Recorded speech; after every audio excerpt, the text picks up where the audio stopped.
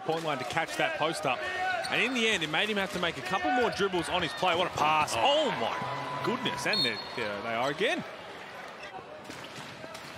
So they get the job done here tonight. Might They be a bit need fun. to.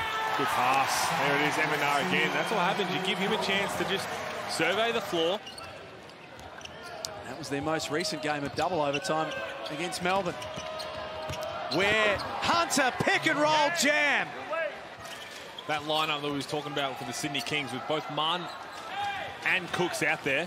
They're going to have a mismatch. Can they find and exploit it? Because Eminar is rolling exceptional tonight.